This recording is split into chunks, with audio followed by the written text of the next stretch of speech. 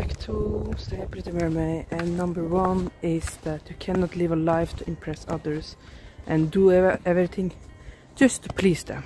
You know, we have a lifetime with choosing yourself and being yourself.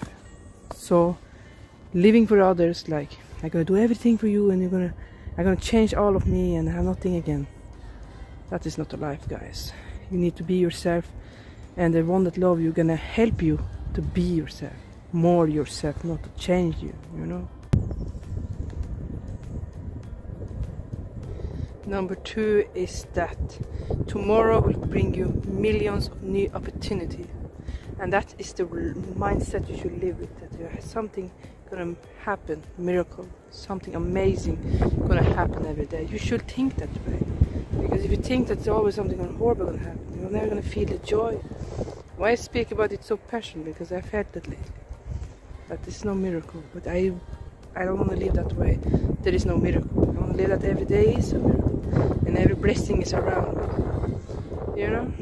Three is that you matter. Your story matters. So you stop doubting yourself. You matter, my friend. That's number three.